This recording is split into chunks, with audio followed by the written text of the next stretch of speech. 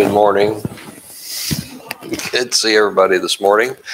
Time to begin our class, and we're going to look at the questions on um, Acts chapter 26, and then starting talking a little bit about Acts chapter 27 here in a minute.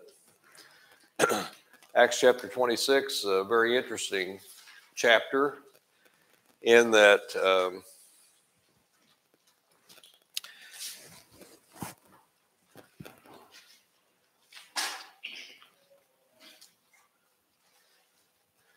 Paul is presenting his case, having presented his case to Festus, who is the new governor or procurator of Judea, or Palestine, if you will, uh, appointed by Rome.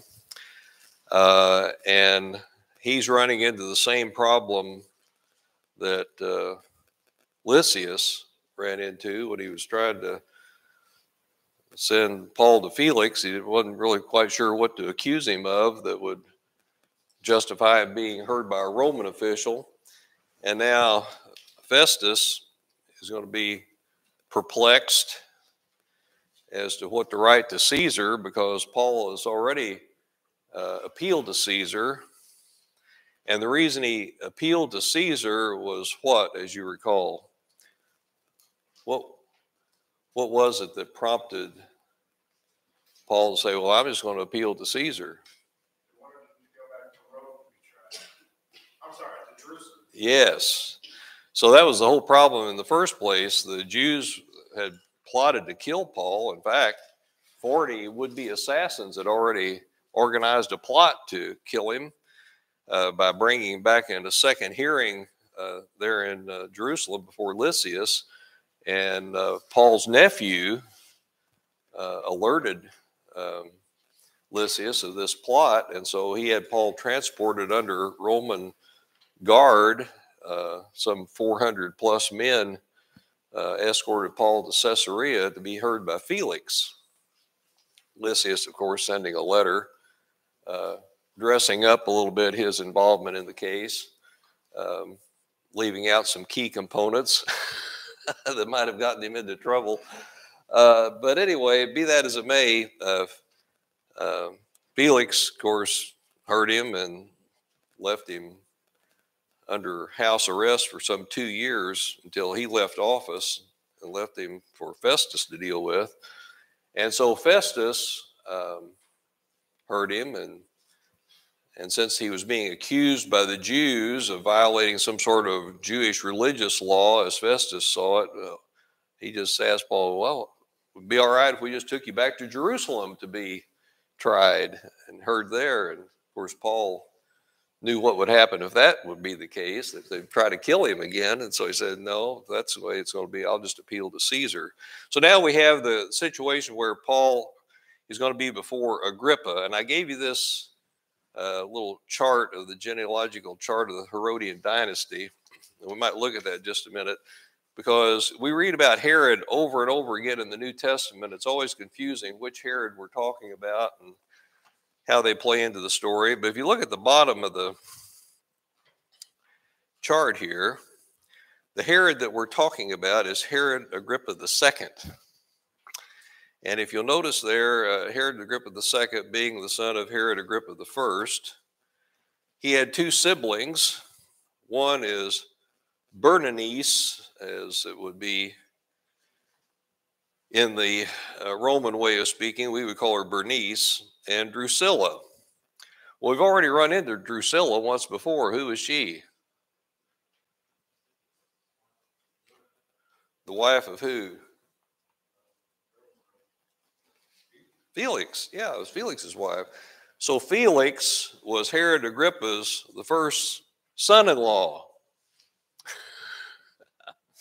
See how all this gets I told you last week it's kind of like a Peyton place situation. Everybody is interconnected with everybody else, and all these behind the scenes uh, drama relationships that are in existence. Well, anyway, Drusilla was the wife of Felix, but she was also the sister of Herod Agrippa II, before whom Paul is going to be presenting his case. Now, you also notice that this Berenice or Bernice was also the sister of Herod Agrippa II. And if you notice in Acts chapter 25 and verse 13, well, let's just read 12 and 13. Someone read Acts 25, verses 12 and 13.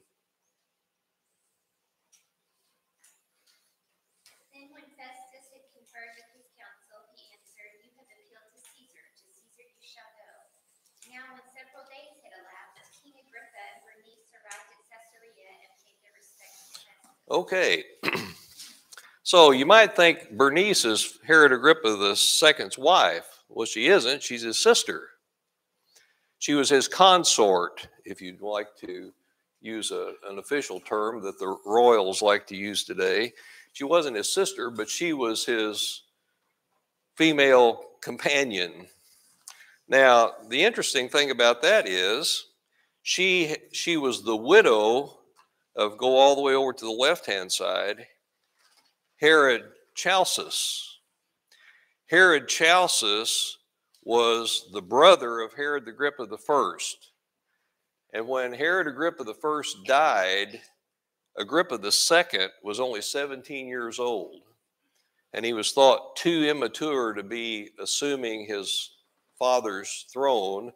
And so the throne was transferred to Herod Agrippa first's brother, who was Herod Chalcis, who served as Herod for a very short period of time, just a, a few years. And Bernice was married to him. Now, what seems odd about that relationship?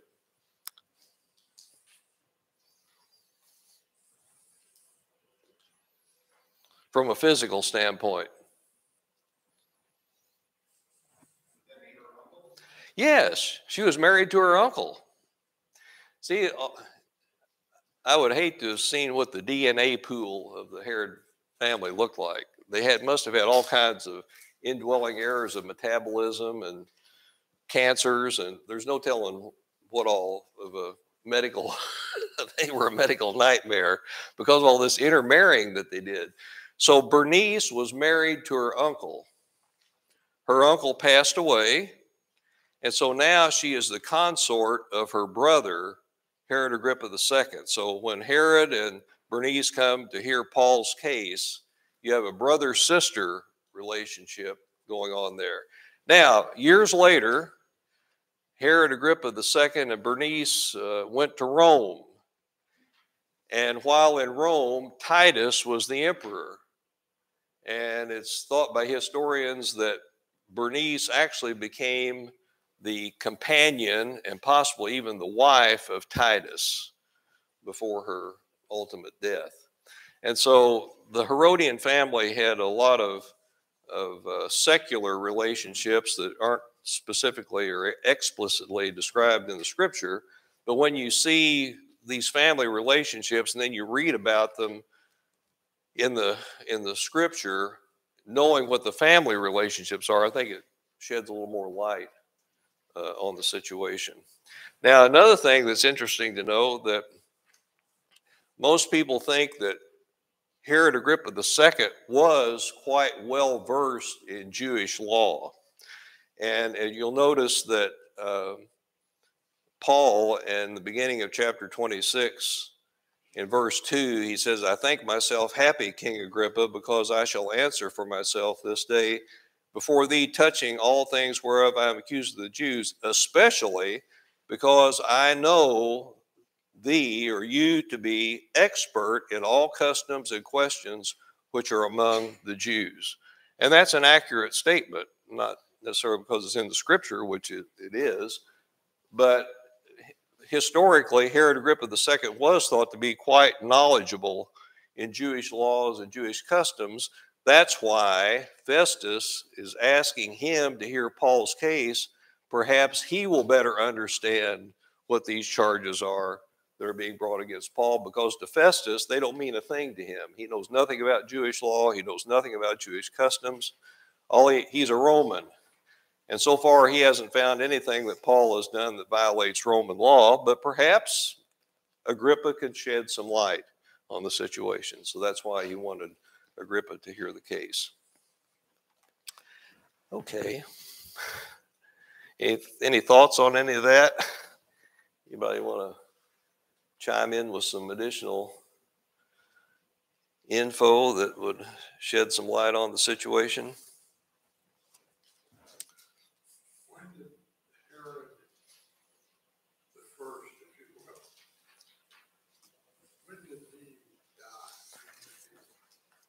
Agrippa the first. Uh, he's the one who killed James. He's the one who had James killed. Oh, that's Herod the Great. Oh, that was that was a long time ago. He, uh, I'm not sure. I'm not sure what year. Well, we know that it was probably, you know, Joseph and Mary fled to Egypt, right? And was told by the angel to remain there until Herod, all those who sought Jesus' life had died. And so they stayed there until Herod the Great did die, which would be sometime in the first decade. I don't know, 5 AD, 6 AD, 8 AD. I'm not sure what year it was, but somewhere along in there is when he would have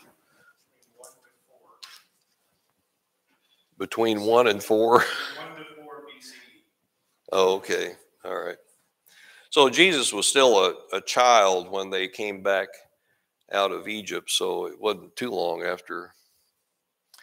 Uh, that's it brings up another point. You know, at quote unquote Christmas time, what do we always see at the manger scene? What? The wise men. Who else? The shepherds. Hmm? I'm talking about how, quote unquote, Christendom today views Christmas, not necessarily how the scripture reveals it. So you see the, the shepherds and the wise men. Who, who actually were at the manger scene? The shepherds. When did the wise men come? Hmm? How much later?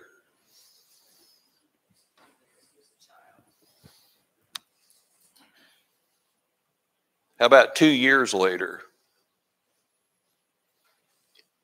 When the wise men, at the instruction of the angel, deceived Herod and didn't come back to Herod to tell him where they found Jesus, what did Herod order? All male Jewish children under the age of two executed. According to the time, it says, as revealed by the wise men. So they they came along. Jesus was a toddler when the wise men came. They were still in Bethlehem at the time, but they lived in a house. They weren't in a manger and he was probably walking, talking, and all that. So the way all that's represented today is totally unscriptural, and I'm not sure why it's done that way. I guess because it's always been done that way. But anyway, it's just another anomaly we run into.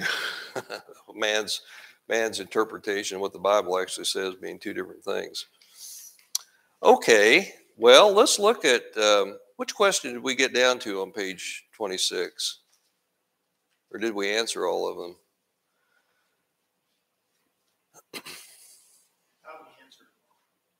We did? Yeah, right the end of finished. okay. All right. Um, see if there's something else I wanted to mention in here.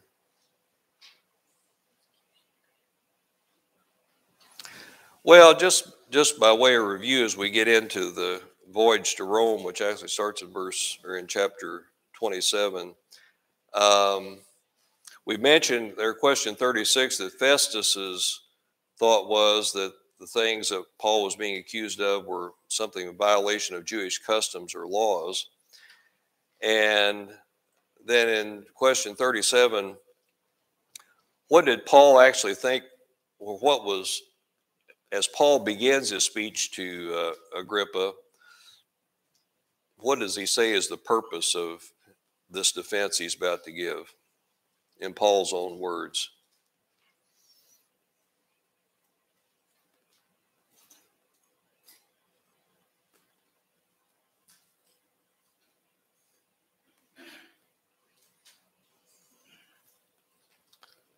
Are you looking for verse six there where it says, now I'm standing trial for the hope of the promise made by God to our fathers? Okay. Yeah, he's he's going he's going to defend himself based on what the Old Testament scriptures has said regarding the Christ. And he's hoping that this will ring a bell with Agrippa who has knowledge of these things. He apparently knows the Old Testament prophets. He knows who Moses was and the teachings of the law of Moses and the prophecies made by Moses and other of the prophets in the Old Testament concerning the Messiah. And he's going to, he actually in verse 2, he says he's going to, to answer for himself, touching all the things where I am accused of the Jews. And we've, of course, we've enumerated those in the past that he was desecrating the temple, he was stirring up uh, insurrection throughout the empire and turning people against the law of Moses and that sort of thing. and so um, ultimately, how did Agrippa react to his speech? What was his?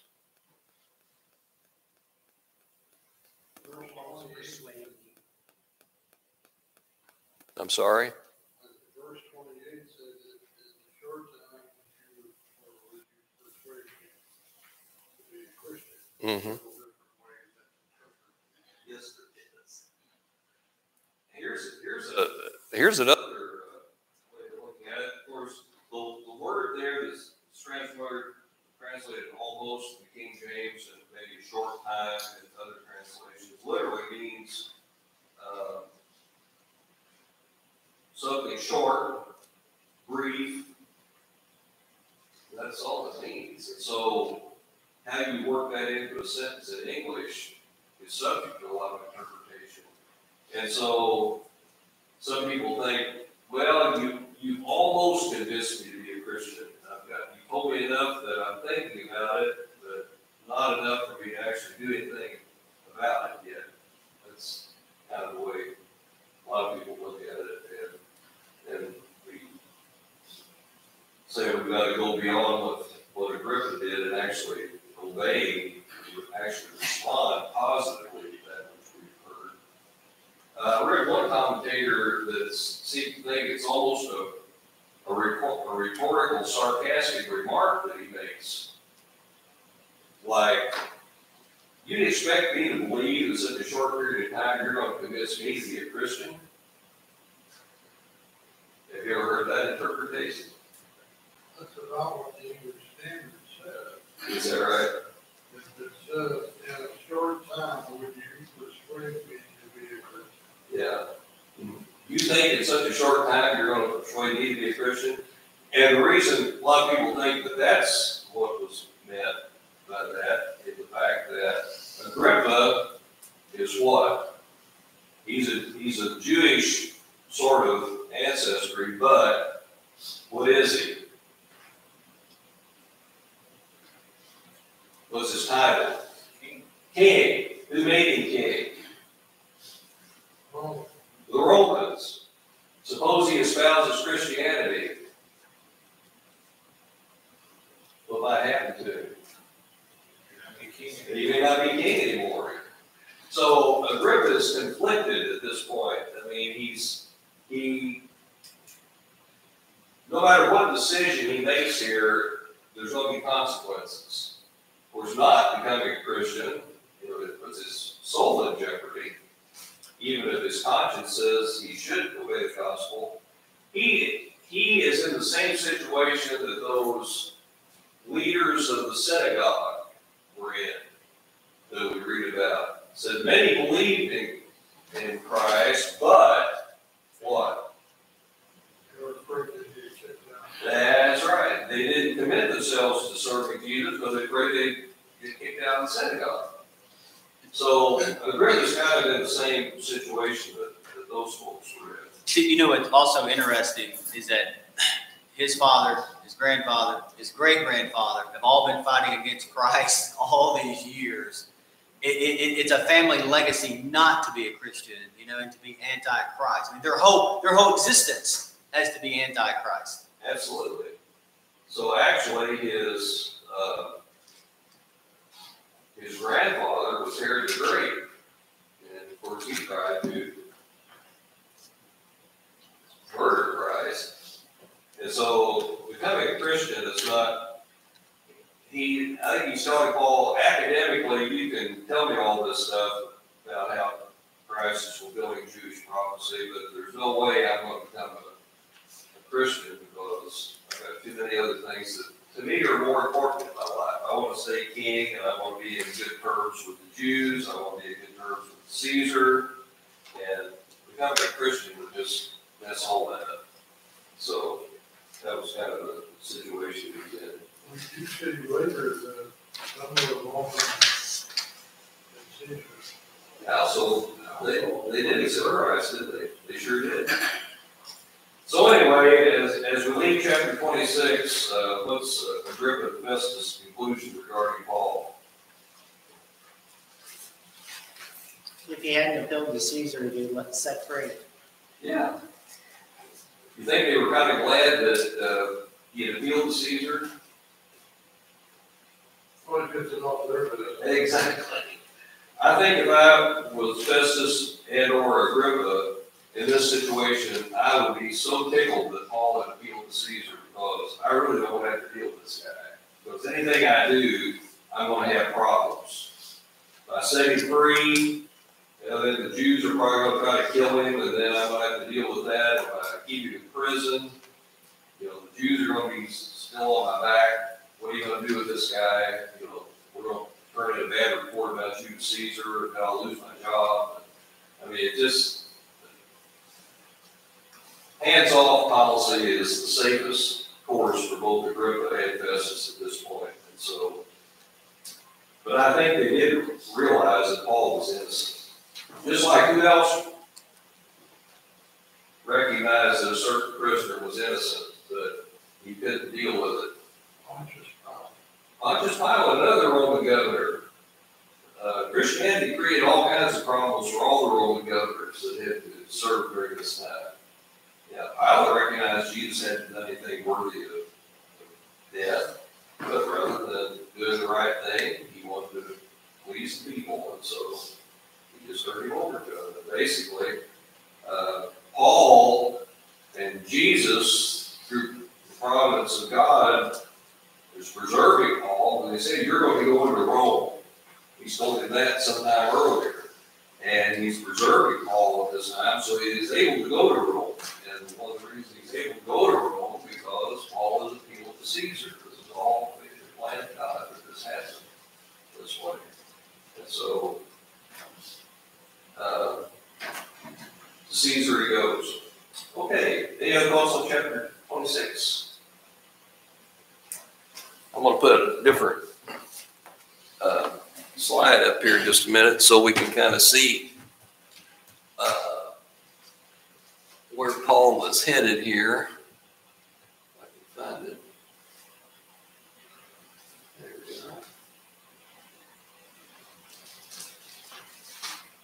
go. Okay. So this is a map of Paul's trip to Rome. And, uh, the, the, uh, route that's taken is kind of dependent upon the kind of ship that he's in. Though these small ships had to stay close to the coastline, they weren't seaworthy like the large, I'll call them freight ship, ships that carried massive amounts of grain from Egypt and that sort of thing to Rome. These are smaller ships, and so when he starts out here at uh, Caesarea and goes to Sidon, uh, this first stop, the ships that they take are small ships and they're staying close to the coastline until they get over here to Sanitas. And from that point, they find a large ship that's on its way to Italy. And I don't know if it says, I can't remember if it says in the scripture or one of the commentators suggested that it was a grain ship. that carried passengers as well as cargo. And we know from the shipwreck over on Malta that there were I think, 276 people on board and they were all preserved. No one lost their life, as Paul said they would. Uh, so ships back then carried both cargo and passengers, and that was the kind of ship Paul was on. It Alexander ship. The ship of Alexandria, yeah, the ship is port of Paul may have been Alexandria, Egypt, actually, and it just happened to be, maybe he took a shipment up to that area of Asia, and then it was on its way there to Rome. Steve, looking at that map, has it ever amazed you how small Jerusalem and Israel is relative to the world? Yet this message came from that little small location and how it spread through a kingdom coming from such a very small geographical place? Right. When you studied, uh, when you studied world history in the eighth grade, or the ninth grade, whatever, whatever grade you had in world history, how much did you study about Israel? Not much. Okay, how much I studied about it? Not much until you got to fifty or something, where they wanted to create. So our country of like Israel. Even, even in ancient history, if you took a class in uh, college in ancient history, you get almost nothing on Israel. And yet, um, during the time of David, Saul, David, and Solomon, particularly David and Solomon, um, Israel was one of the wealthiest and most prosperous countries on earth. If you read about things that Solomon had, my goodness.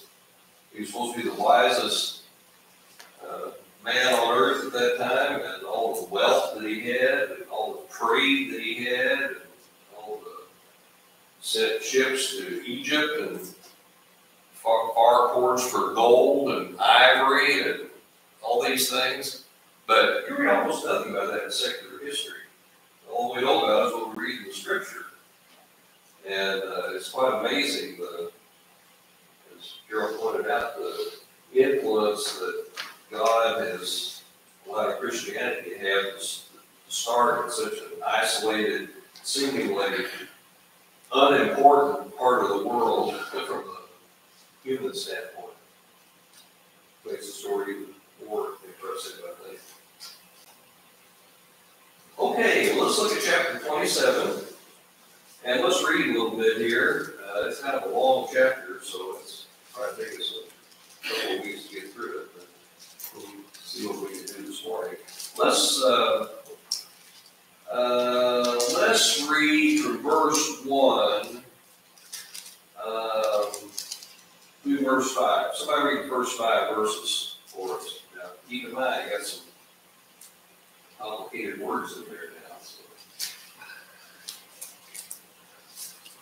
Not to scare anybody off, but just be aware of that. Like the risk of language, Well, you go right ahead. And when it was decided that we should sail for Rome, we delivered Paul and some other prisoners to a centurion of the Augustan cohort named Julius. And embarking in a ship to Athens by Adonai, which was about to sail to the ports Asia, we put to sea accompanied by Aristarchus, Macedonian from Thessalonica. The next day, we put in at Sidon, and Julius treated Paul kindly and gave him leave to go to his friends and to be cared for. And putting out to sea from there, we sailed under the lee of Cyprus because the winds were against us. And when we had sailed across the open sea along the coast of Cilicia and Pamphylia, we came to Myra and Lycia. Okay, very good. Well,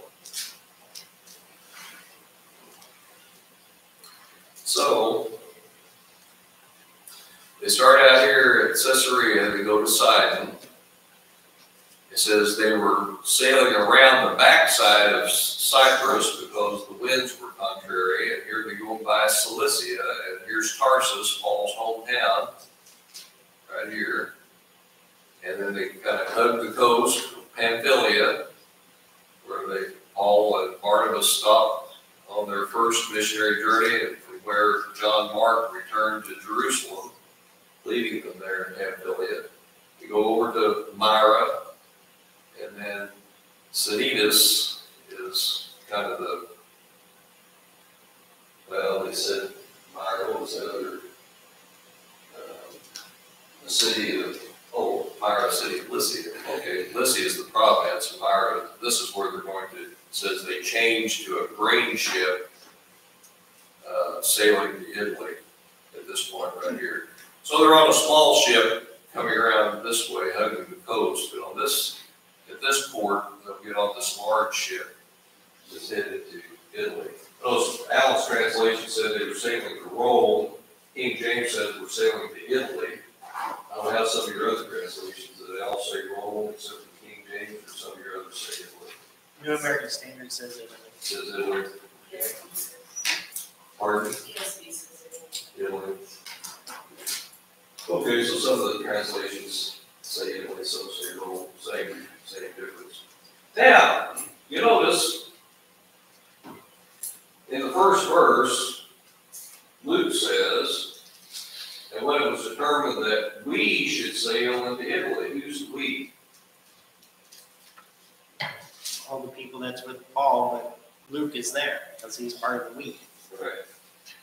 Some say that only Luke was with him on this trip. What's this there, Starkis? Well, besides Aristarchus of Macedonia.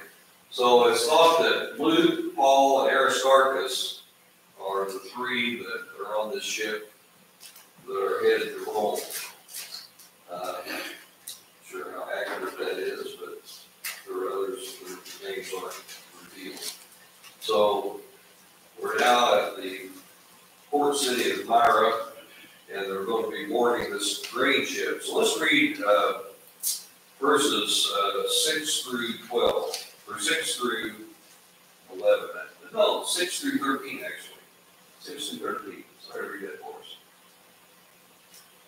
There the centurion found a ship of Alexandria sailing for Italy and put us on board.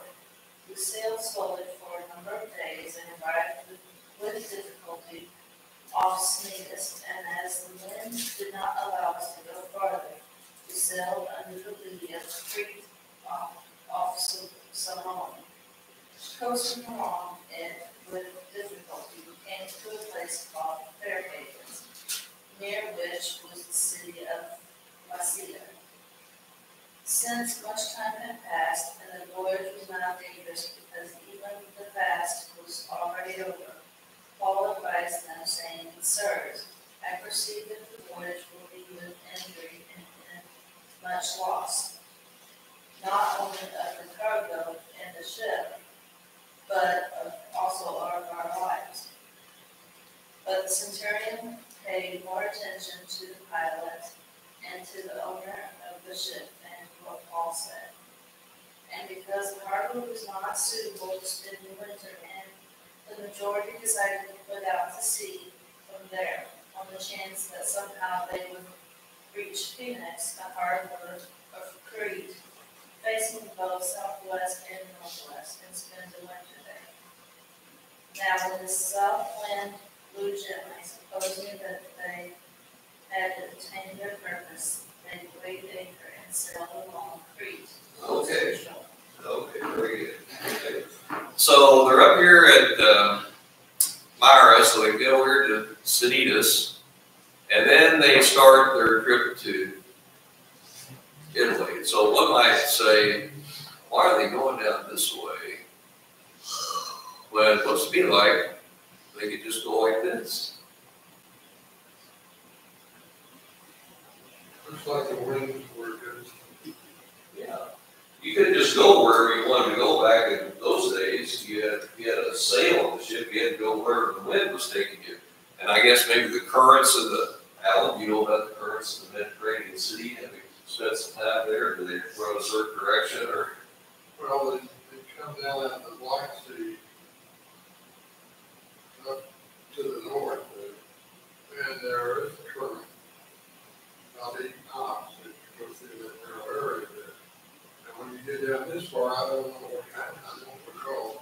Well, there's so many islands and land masses and stuff that will obstruct the flow of the water. I'm not sure how it is, but apparently the way the winds, the tendency of the winds were going to be to carry them south.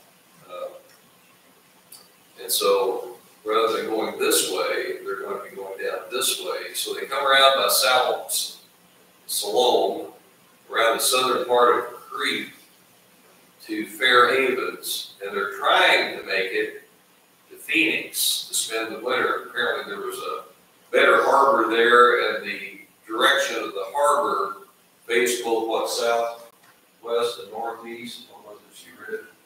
Uh, Southwest and northwest, uh, which perhaps allowed the wind to take them into the harbor more easily there than, than this place here.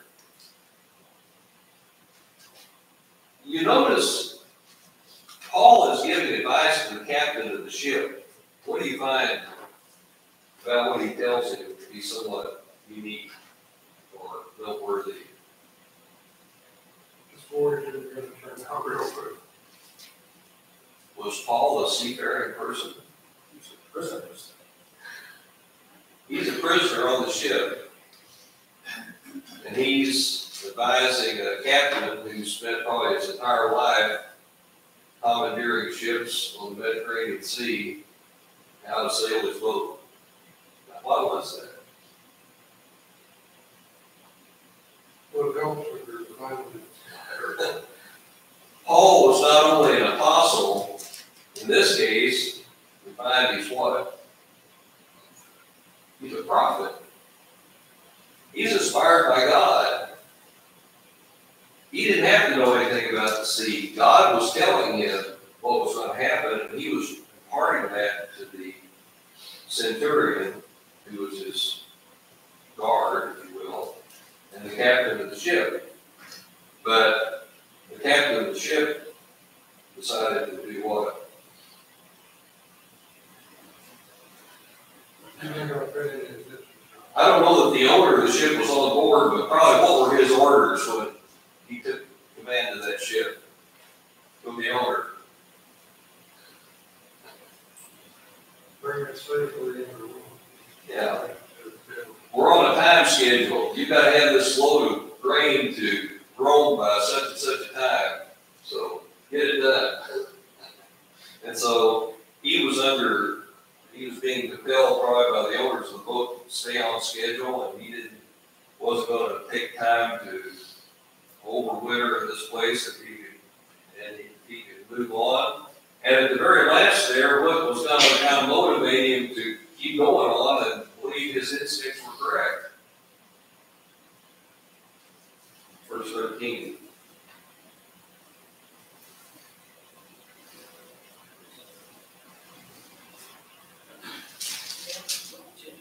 Yeah. It looked like there was bad weather ahead. It looked pretty good, didn't it? So let's just go on.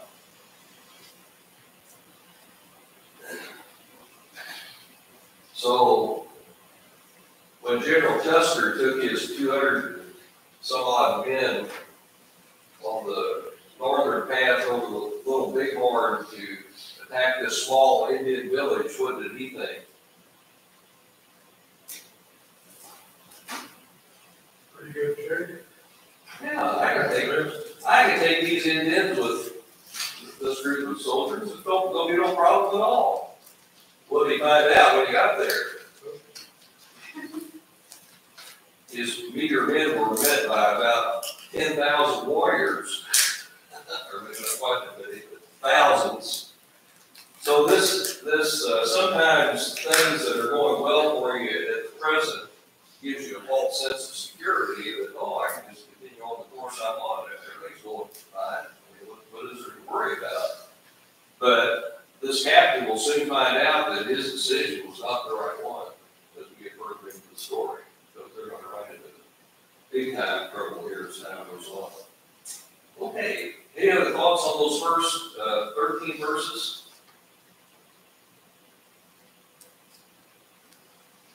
Well, the next section, uh, actually, verse thirty-eight talks about the storm that they, uh, come upon. So let's read verses, uh, fourteen through twenty-one. Someone read those for us, if you would.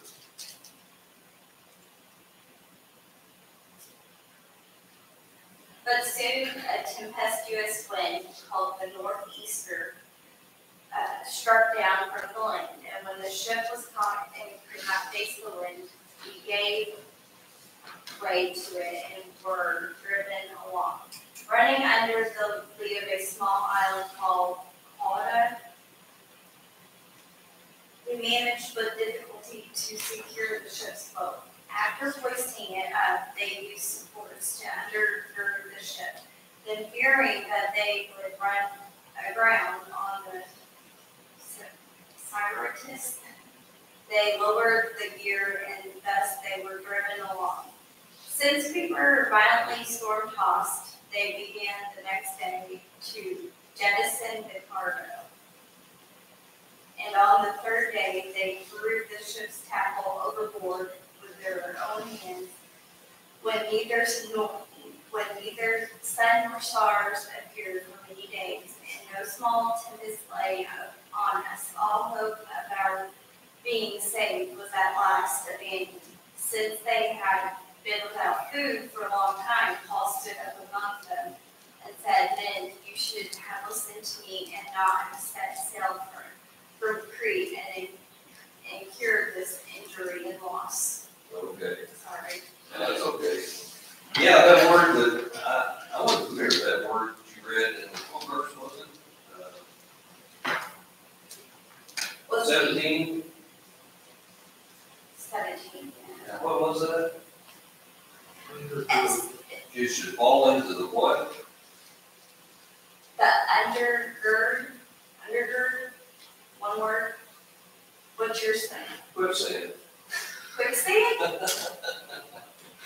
Yeah, I like quicksand better. I don't Yeah, I didn't know what that, I was reading it and I was. So that leads you to believe, you know, here they are, uh, I guess they're, they're just kind of hugging the coast of Crete. So I assume from this, and Al might be able to shed some light on this for us, that there are a lot of areas where there's maybe sandbars and the Mediterranean Sea is not as deep in places as others. It's, I mean, there's risk of running aground in some of these areas. That, they're, yes, Yes, the sand bottom sea, if you will, the whole thing. And uh, you find out like we're running into some areas that were shallow. yeah. And maybe what they're doing. I've always been amazed at how they secured the ship. Well, that's like they did. Apparently they ran lines or rope or something underneath it to bind it. Yeah.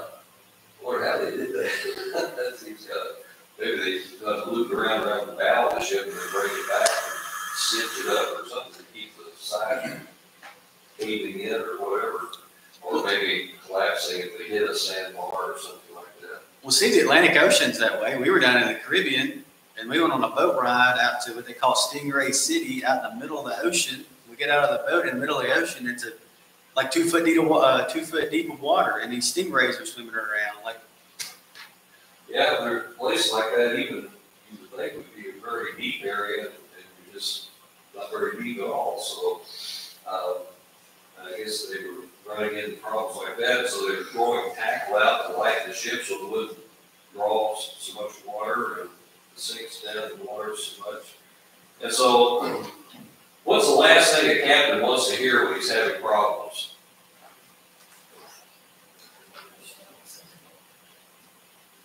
What's Paul say in verse twenty-one? In your own words. I, you should have listened to me, I told you so. But can you just imagine how the captain must have reacted to that? That's not revealed in the scripture, but I would say if I was a captain, I didn't need to be reminded that I made the wrong decision when problems are occurring. But Paul Paul told him, so you should have paid attention to me, told you not to leave. And now I exhort you, says verse twenty-two, be of good cheer, for there shall be no loss of any man's life among you, but of the ship. For there stood by me this night in the angel of God, whose I am and whom I serve, saying, Fear not, Paul, then must be brought, you must be brought before Caesar, and lo, God has given you all them that sail with you. So God, through an angel, has appeared to Paul and told him, don't worry, you're going to make it to Caesar, and everyone who's with you will be preserved as well. Ship's to be lost, but no life so that was uh, words of encouragement for the captain and all the other passengers that were on board the ship. That they all make it to uh, land safely eventually. Not yet, but eventually. Okay. Um, we got a few more minutes. Let's just read uh, 25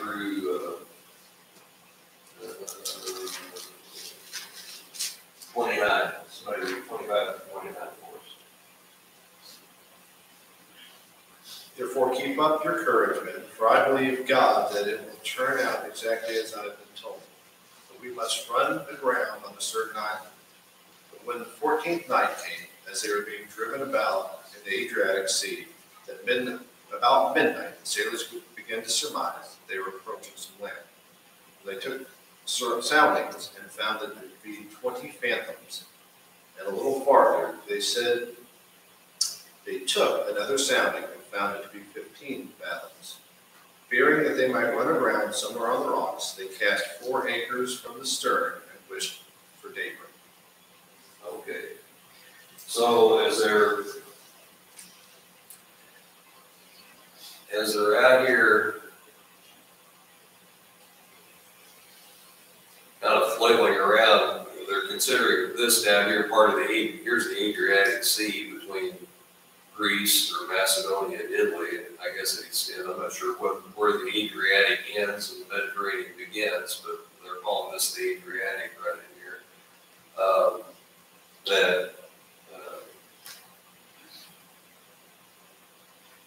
they are finding that they're, they are approaching land.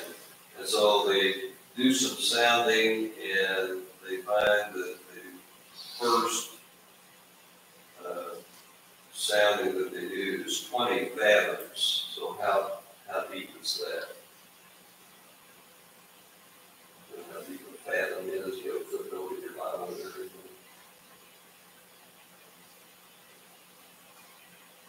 You know how much a fathom is?